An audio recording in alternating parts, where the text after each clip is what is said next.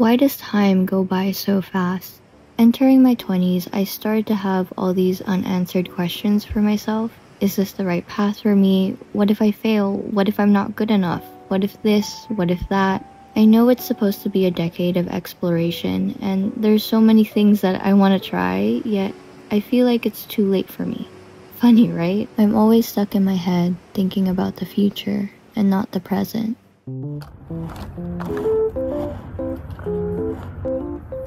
Good morning, guys. I'm currently on an out of town trip with my family. It's morning right now, so I am going to whisper while I get ready for the day. It's almost summer break for me, and I've just been so busy with my final project. I feel like people tend to underestimate how much work goes into being a fashion design major or really any major with hands-on work like architecture because again it's like hands-on and you really have to manage your time wisely because it does add up like you can't procrastinate on certain projects or else you will be behind and you won't get it due on time. My leg is I think it's falling asleep because I'm like crisscross applesauce. Oh my gosh. Okay, I'm stretching my leg.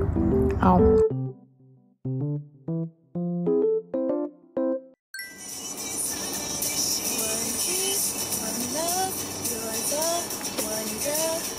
I'm gonna change into my docs. I was wearing my flats. I can drive with any shoe and even heels, but I feel like docs, because they're so heavy, that's not safe for my pedal.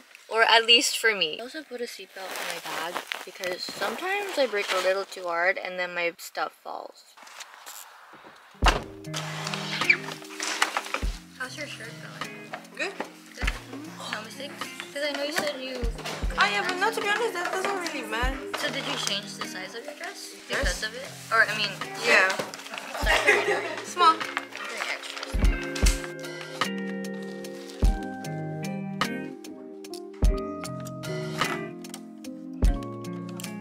I still hope for a better future, even with all these doubts in my mind.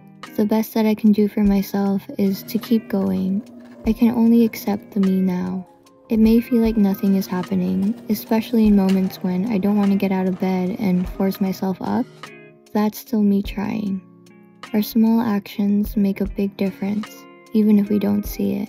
Instead of looking at doubt in a bad way, I want to see it as a feeling of wanting to be better for myself, to encourage me to ask questions and explore different perspectives. In this mindset, it prevents you from accepting things as it is and pushes you to dig deeper and really ask yourself what you want in life.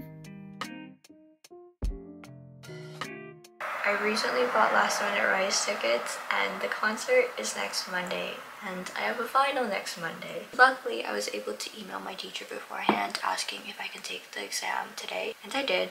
So technically I am done with my pattern making class, which was one of my most stressful classes this semester. My classmate finally reached out to me today. She texted me saying that she's on campus and I told her I already left because I was done early with everything like my exams and my projects and she asked when she could get her times to me and I told her that I won't be here next Monday. I was going to be on campus on Thursday. I only have a day and a half to finish the dress while everybody else had three weeks. And I explained to her that I can't finish it in a short amount of time. I have other projects that I need to work on. This is why I hate group projects or partner projects because sometimes it just doesn't work out and what can you do because your grade also depends on it? That's the real world as the professors tell you.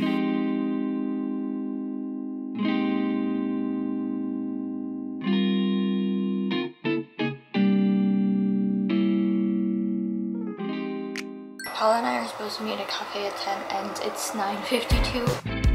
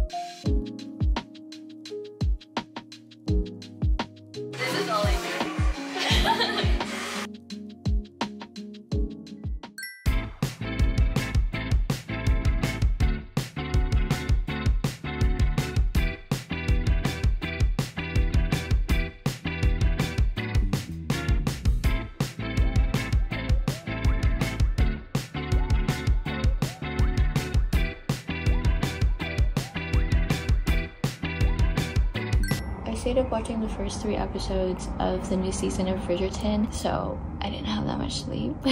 And I hate that I have to wait another month for part two. Like the last two seasons, they released like all eight episodes. So far, the first three episodes were really good, but I feel like it's just getting there. Like it's building up, you know?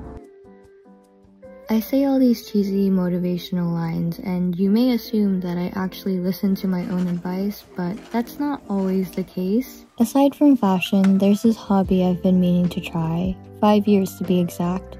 I've been thinking about it for so long, yet I haven't taken action. It goes way beyond my comfort zone, and I don't know if I'll succeed or find it embarrassing in the end. Sadly, I don't know when I'll take action on this dream of mine or if it'll forever be a dream. Again, I often get consumed by doubt because the obvious answer is that I shouldn't be waiting for the right moment when that moment can be now. And I guess it's an obstacle that I have to face and see where it takes me if and when I decide to do it, of course.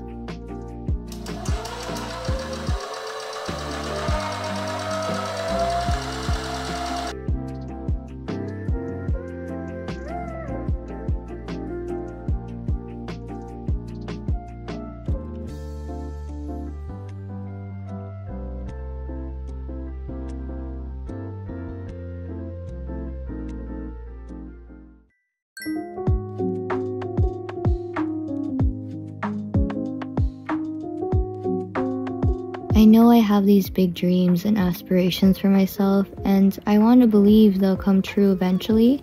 So while I wait, I want to be in the present more and find happiness in what's already in front of me, and to find happiness in things I haven't experienced yet, to go for it, no matter what the results may be.